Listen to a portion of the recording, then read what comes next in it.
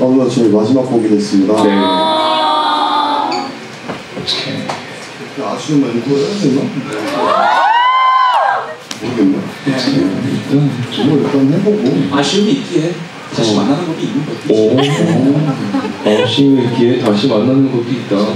그치만 내가 아쉬우면 어떡하지? 여러분 오늘 공연 한 줄 평 여러분들 살아있네요. 정말 감사합니다. 오늘 너무 진짜 너무 재밌었어요. 저희는 팝을 노래하는 고음공업 밴드 화무였습니다. 여기서 마지막 곡으로 인사드려야 될 것 같아요. 어떻게 여러분 마지막까지 다 끝까지 잘 해주실 거죠? 네. 좋습니다. 저희는 마지막 곡으로 인사드리도록 하겠습니다. 감사합니다. 감사합니다.